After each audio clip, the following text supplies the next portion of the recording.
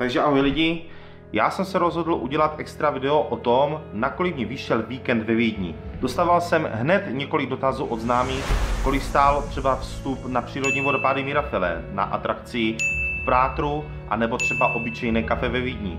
Nicméně, město Vídeň v roce 2020 v hodnocení nejzelenějších milionových měst získala první místo.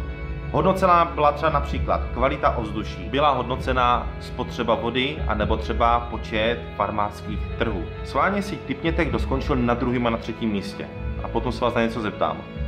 Druhý místo totiž obsadil Mnichov a třetí místo Berlin. Je to náhoda?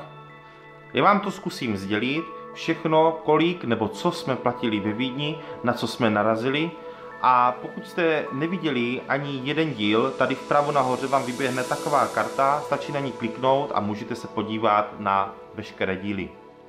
Začal bych hned od prvního dílu, kde jsem přijel na parkoviště a skončíme na vodopádech. Hned v prvním dílu jste mohli vidět, jak odcházím z parkoviště Park and Ride. Těchto parkovišť po Vídni najdete snad stovky. Viděl jsem ji skoro na každém rohu, takže nemějte strach, že byste někde třeba nemohli zaparkovat. Já osobně jsem zvolil zastávku Donau Stadtbrücke, respektive Park and Ride na téhle zastávce metra, kde máme výchozí výbornou pozici na směr přímo do centra a hlavně měl jsem po cestě i Martinův byt.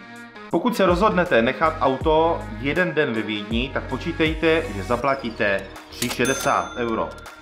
Pokud samozřejmě to necháte jako já, 3 dny, zaplatíte 10,80. Nemyslím si, že to je hodně. Dostáváme se na jízdné po městě. Na 24 hodin budete platit okolo 8 eur. Když budete chtít na 48 hodin, zaplatíte 14 euro, v mém případě 72 hodin ve Vídni 17 euro. Tiket platí úplně na všechno, co potkáte ve Vídni. Ve Vídni se nelekněte, je 5 linek metra.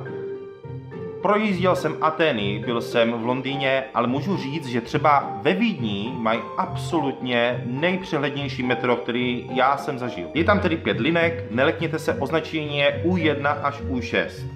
Ano, někam se jim U5 asi podělá. Pokud někdo ví, napište to do komentářů, rád se dozvím, kam se ta U5 ztratila. S Martinem jsme začínali natáčet u Stefanzu domu. Ve videu to sice není, ale nicméně šli jsme se nakonec doopravdy podívat na to, jak to tam vypadá ale jako je to hezké, ale počítejte při vstupu 2 eura. Teď to přijde. Určitě se dostanete do fáze, kdy budete ve Vídni a budete mít chuť na kávu a věřte tomu, že dostanete chuť na kávu, protože víceméně v každé uličce v centrum ucítíte kávu na každém rohu. Je to něco neskutečného a doporučuji všem navštívit firmu Štrek. Tato firma má asi 70 poboček po Vídni, nicméně dělá v ní i sám kamarád Martin, se kterým eh, jsem pobýval celý víkend a on právě říká jedno důležitou věc. Poslouchejte. No, ale v jiný, v jiný, úplně v jiné části. Okay. Nějaký dobrý víner kafe? No spoustu, spoustu, že máme nejlepší kafe. Okay. My jsme si dali croissant a tohle kafe. Uh, Croissant vám vyjde nějakých euro 40, káva se pohybuje od 2,40 do nějakých, teď abych nekecal, 4 euro. My jsme si dali tohle kafe za 3 eura a absolutní spokojenost. Stačilo, určitě. Jedna z nejčastějších otázek, kterou jsem dostával, byla, kolik stála vodní atrakce Vildal Pemban v Prátru. Tato atrakce vás vyveze do 25 metrové výšky a pojedete dolů zhruba nějakých 340 metrů. Pokud si budete chtít na tuhle atrakci zajít, budete platit 5 euro. Pak jste si mohli všimnout, že jsme šli kolem takzvaného květinového kola. Pokud na tuto atrakci si budete chtít zajít, doporučuji, že určitě uvidíte ten nejlepší výhled na celý Prátr a zaplatíte 4 eura. Restaurace Schweizer House. Když přijedou do té Vídně a budou tam aspoň přes, minimálně přes tu jednu noc, zajděte si tam. My jsme si objednali koleno a piva. To koleno jsem zmiňoval, mám pocit v prvním dílu, kolik stojí, ale zmíním ho znovu.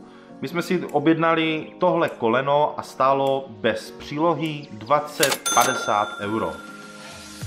pokud si budete chtít objednat tomu ten salát, zkrátka se vším, co oni nabízí, zaplatit další 3 eura. A pivo jedno, a teď si držte, stojí 5 euro. A čepujou klasický český Budweiser. Chápeš to? Téma samo o sobě je Sachr Hotel a ne Sachr Torte. Pokud budete chtít naštívit tento hotel, musíte trošku počítat, že ty prostě peníze tam necháte. Není to podle mě moc, nic moc levného, každopádně když už jsem v té Vídni, tak to chci obětovat a chci všechno vyzkoušet. Pokud budete chtít zajít na Sachr Torte, zajděte jenom do toho Sachr hotelu, pro boha nechoďte nikam jinam. Já věřím tomu, že nikdo jiný má tu licenci dělat, ale tam prostě máte echt prostě poctivý Sachr Torte a hlavně tomu můžete věřit. Torte, originální Sachr Torte a přijde vás na 7,90 euro. A my jsme si v tom teple ještě s Martinem objednali ice cafe a zaplatíte 8,90. Dostáváme se do parku Belvedere. Belvedere, jak jsem říkal, je to pro mě, to byl aspoň takový malý Schönbrunn. Uh, někteří z vás budou mít pocit, že se tam platí nějaký vstup. Ale Belvedere a Schönbrunn se neplatí absolutně žádný vstup, takže můžete tam brouzdat kde chcete. Schönbrunn. Schönbrunn, jak jsem říkal, vstup zdarma, není to nic, nic se neplatí, Platí se pouze parkoviště, který je u Schönbrunu, ale nikomu z vás to nedoporučuju. Pokud budete chtít si zajet do Schönbrunu, opravdu nechte si na začátku Vídně auto, sedněte na metro a jedete přímo k němu. Pokud budete chtít na tohle parkoviště, zaplatíte 4 eura. Za mě absolutně ekonomická sebevražda, protože než projedete celý Schönbrunn, když to teďka přeženu, 4 hodiny. Já se vám musím přiznat, když eh, jsem stříhal, mám pocit, druhý díl, zapomněl jsem, když jsme byli v tom Schönbrunnu, zapomněl jsem vám tam stříhnout, jak jdeme s Martinem kolem zoo, který je přímo v parku Schönbrunn. Je tady panda, která taky je vlastně jediná ve střední Evropě v zoo, protože eh, Čína ji vždycky jenom zapůjčuje, jo? Eh, ne, nepatří tady k jako mm-hmm. Rakousku, ale je tady zapůjčená. Když budete v Schönbrunnu, zajděte si do toho zoo. Je to samozřejmě zoo, který je jedno z největších ve středním Evropě. A pokud budete chtít zajít do zoo, počítejte, že za dospělého zaplatíte 22 euro.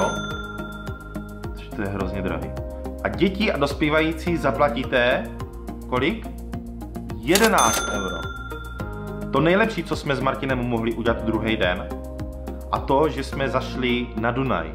Konkrétně je to zastávka Alte Donau, takže tam je velká půjčovna botu, takže všem doporučuju. Šlapadlo jsme si zapůjčili na nějakou hodinu, hodinu a půl. Za hodinu zaplatíte nějakých 18 euro, ale má to jednu výhodu, můžete tam jet až ve čtyřech lidech. Poslední den jsme vyjeli na vyhlídku Kahlenberg.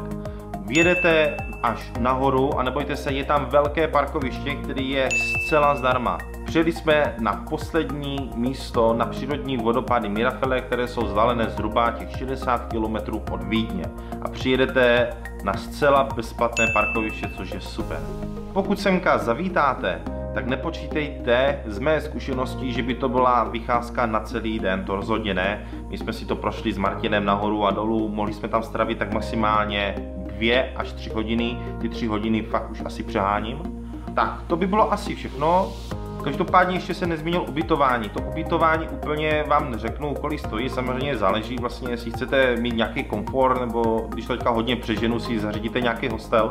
Já měl tu výhodu, že tam ten Martin prostě bydlí, pracuje, mohl jsem strávit u něho, čili co týče ekonomické stránky, tak mě to hrozně moc pomohlo a velká výhoda, takže z toho vyplývá, najděte si kamaráda ve Vídni.